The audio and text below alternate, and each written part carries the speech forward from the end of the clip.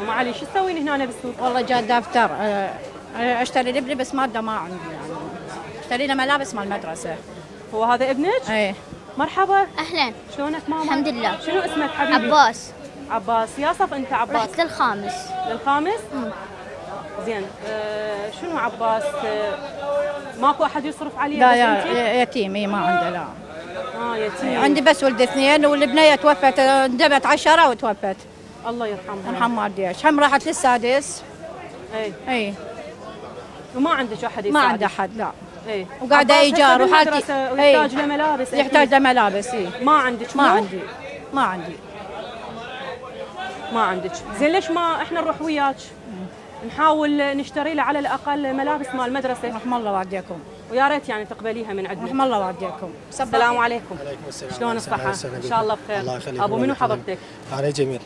جميل. تبيع هنا آه، ملابس مال المدرسة مال أي تعال. عباس. آه، طبعا آه، عباس طفل يتيم. أي. شفناه بالسوق هو والحجية والدته. هو بحاجة إنه يشتري ملابس مال المدرسة لكن للأسف يا امور أمر يا امور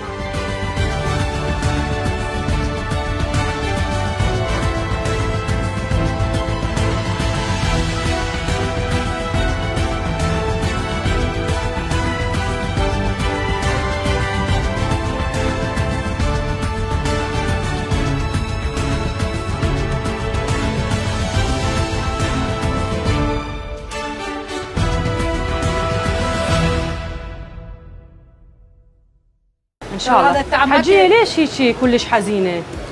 مو أنا لك الدمعة بطرف عينك. آه، شو أسوي؟ بنتي توفت هاي ما صار يعني بنص السنة. الله يرحمها. وبنتي توفت قالت ماما يعني يمكن راح أنجح. قلت لها شلون؟ كانت تقول لي يمكن راح أنجح. إذا نجحت تجيبي لي طلعت تذبحي لي قلت لها الله كريم. الله كريم. لا إله إلا الله.